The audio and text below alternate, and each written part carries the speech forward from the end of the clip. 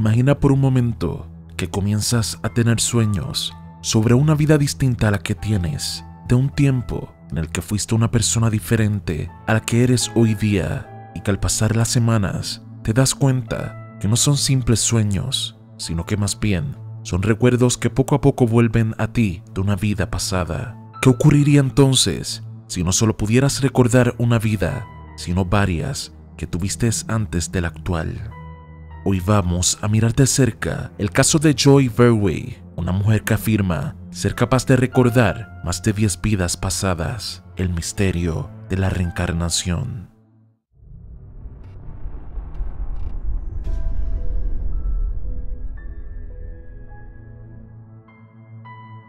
La reencarnación es una creencia en la que se afirma que cada persona está compuesta por un cuerpo físico y el alma, el cual es espiritual. Según se cree, al morir cada persona, esta alma sale de su cuerpo y se transmuta en otro, donde la persona vuelve a nacer. Algunos creyentes de la reencarnación afirman ser capaz de recordar sus vidas pasadas e incluso mostrar supuestas evidencias de la veracidad de sus afirmaciones.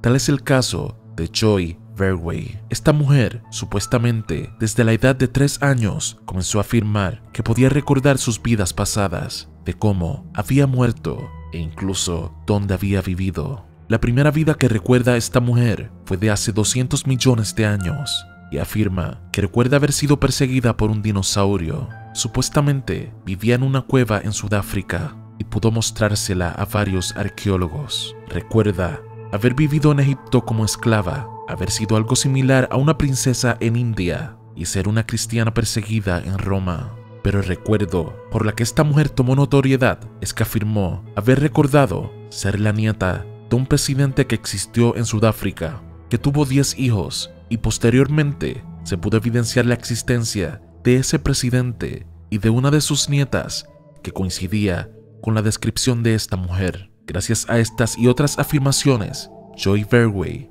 es conocida como la mujer que recuerda 10 vidas pasadas. Pero entonces, ¿esto sería realmente evidencia de la existencia de la reencarnación? Evidentemente, existen varias respuestas probables a este misterio. Desde una perspectiva naturalista, podríamos decir que existen distintas formas de explicar estos recuerdos.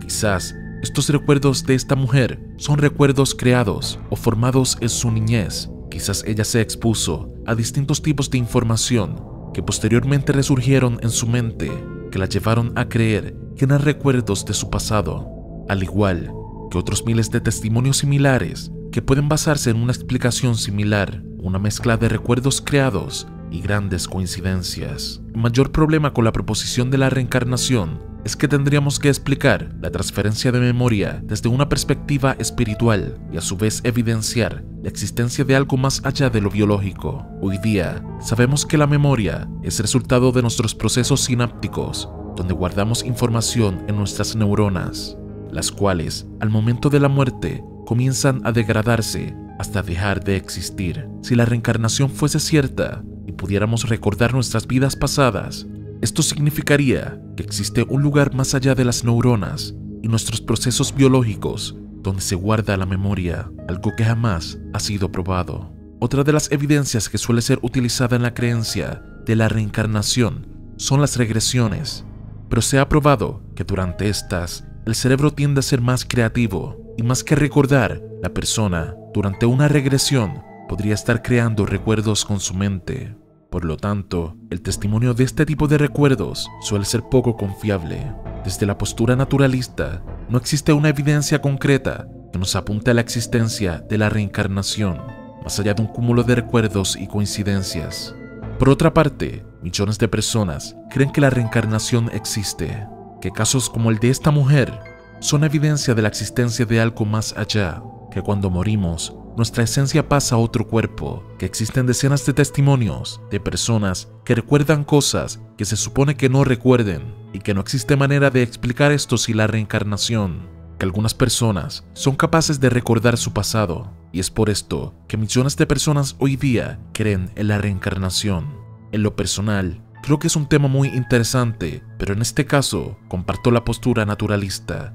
Aunque existen muchas coincidencias e historias increíbles sobre la reencarnación, no tenemos una evidencia concreta que nos apunte a esa dirección. La postura más lógica en estos casos sería dudar hasta que se demuestre la existencia del fenómeno, aunque debo aceptar que sería algo muy interesante e increíble el hecho de poder reencarnar y recordar nuestras vidas pasadas.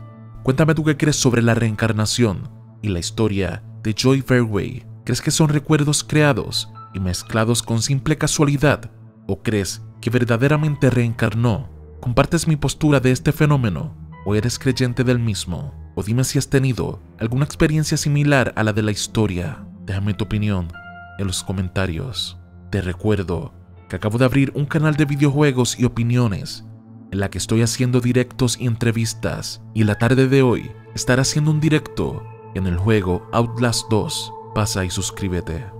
Si te ha gustado este video, no olvides darle pulgar arriba y compartirlo. Si aún no lo has hecho, no olvides suscribirte.